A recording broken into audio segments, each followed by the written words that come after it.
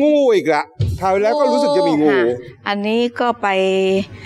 เอ่อไปข้างนอกเข้าบ้านก็เห็นแมวมันเอางูมาเล่น แล้วก็บอกอุ้ยอย่าไปทำเขาก็ไล่แมวฝัดจะปล่อยปล่อยเสร็จหัวมันก็แบะละแล้วก็เลยหัวเอาแบะงูอะหัวแบะงูหัวแบะแล้วแต่มันยังดิ้นอยู่ เราก็เลยเอาไปใส่กระป๋องบอกว่าเอ่อถ้าแม่บุญกุศลที่แม่ทำขอให้เจ้ารอดนะ อะไรอย่างเงี้ยปรากฏว่า เดี๋ยวพรุ่งนี้ถ้าไม่รอดก็ขอรับบุญไปเกิดไปอยู่ในภพภูมิที่ดีทำบุญให้ทำบุญให้แล้วอีกวันก็ไปใส่บาตรให้เขาปรากฏว่าเขาตายนิ่งแล้วนิ่งก็ไปเห็น อุ้ยแปดศูนย์เลยตาย ถ้าเป็นเราคือ เนี่ยขดเป็นเลขให้อ้าวคุณหญิงฝังจ้ะแต่เป็นประแดงก่อนจะไปฝัง อ้าวอ้าวแปดศูนย์หน่อยหนึ่ง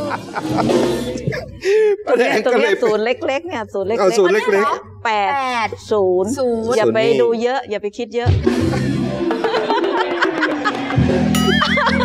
อย่าคิดเยอะ เออต่อไปหนูจะคิดง่าย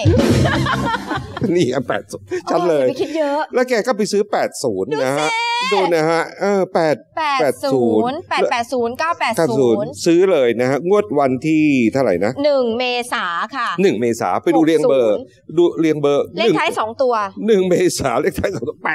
80 เต็มเต็มเลย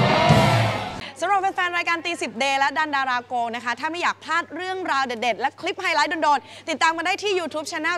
2020 Entertainment ที่นี่ที่เดียว กดตรงนี้เลยค่ะ กดเลย กดเลย กดไลค์กดเลย